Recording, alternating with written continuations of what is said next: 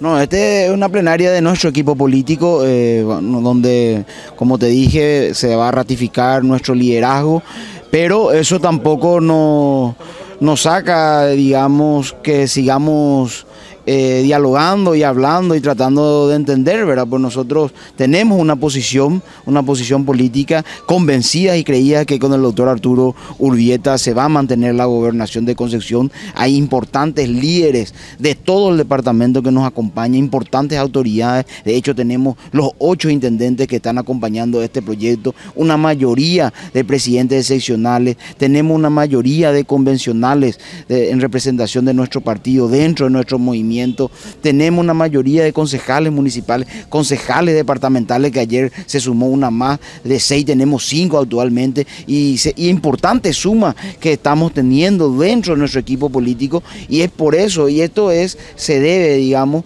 que hay un convencimiento real y una convicción de que con el doctor Arturo Urbieta nosotros vamos a tener una contundente victoria el 17 de diciembre y así también en el 2018, en julio, eh, vamos a mantener, vamos a tener una victoria contundente para el Partido Colorado que va a significar mantener el gobierno departamental de Concepción. El domingo se oficializa esa dupla gobernador.